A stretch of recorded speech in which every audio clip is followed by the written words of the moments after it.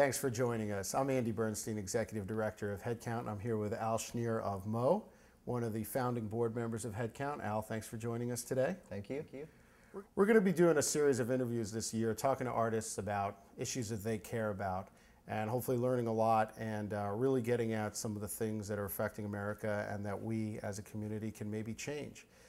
Al, I know something that you care a lot about is the whole continuum of how we treat animals, uh, organic farming, and the health of, of what we eat and nutrition. What, uh, what do you see as the issues there, and what are some of the potential remedies that can really help this country? You know, it's, it's really interesting when you think about something as simple as nutrition and the things, just, just very simple benefits. Um, you know, when you think about our healthcare issues that we have in this country, the, the problems that, that, that we have, the systemic problems that we have, um, thyroid issues and adrenal issues and um, stuff with our organs. Um, people are, are ending up in situations um, that shouldn't have to be a problem and are largely could, can mostly largely be attributed to poor nutrition throughout the course of their lifetime.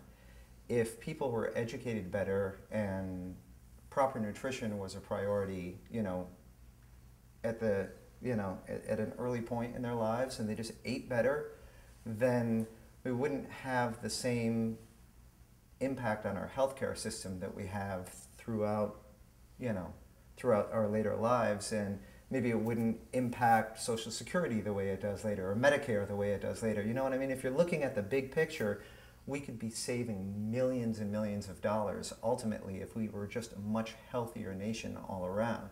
People would be smarter, people would be healthier, people would need less health care ultimately.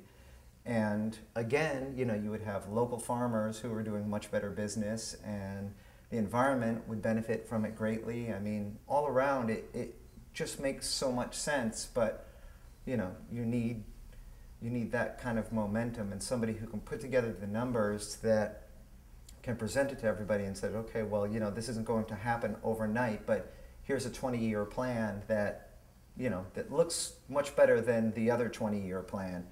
The problem is the other 20-year plan, the one where we stay on this course, keeps the corn guys making a lot of money. You know, will keep the pharmaceutical industry making a ton of money because everybody is sort of in a state of constantly needing to get better. And, you know, um, it keeps the current food companies sort of where they are now too because they're going to be selling all the same products they always do. And you know there are big companies like Procter and Gamble and Nabisco et cetera huge corporations that that make a lot of money off the food that they're putting out there today. But you know processed white flour and high fructose corn syrup and things like that aren't really you know those aren't foods. Those aren't things that we should be eating